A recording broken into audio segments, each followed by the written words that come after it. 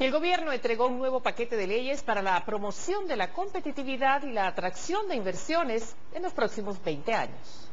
El incremento de los precios de la canasta básica obligaron a la Comisión de Economía a pronunciarse por los operativos anti-especulación anunciados por el gobierno. Estamos ahorita revisando el tema, de hecho, eh, sí creo que es muy importante eh, que nosotros como comisión le demos seguimiento al tema de la DIACO, ya la tuvimos en una oportunidad acá y pues vamos a, volver a, traerla a la comisión. Eh, se ha tenido alguna coordinación y comunicación con ella, han estado haciendo presencia en los diferentes lugares donde se está dando el alza de los precios. Yo creo que a veces es especulación también y pues esto daña la economía familiar. Un tema espinoso, ya que la sala de trabajo está encabezada por una diputada oficialista. El tema de los precios y la agenda económica pendiente comienzan a ejercer presión sobre el trabajo de la comisión.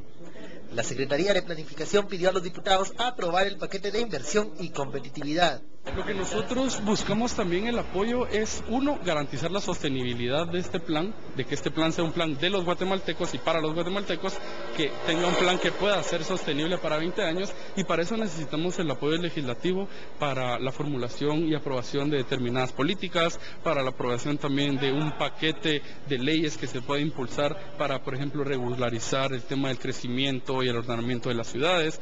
Junto al paquete de competitividad, la Comisión de Economía tiene pendiente finalizar la aprobación del acuerdo comercial con Perú y lograr un espacio para discutir la ley de aduanas. Una agenda ambiciosa que puede verse truncada si el Congreso vuelve a empantanarse.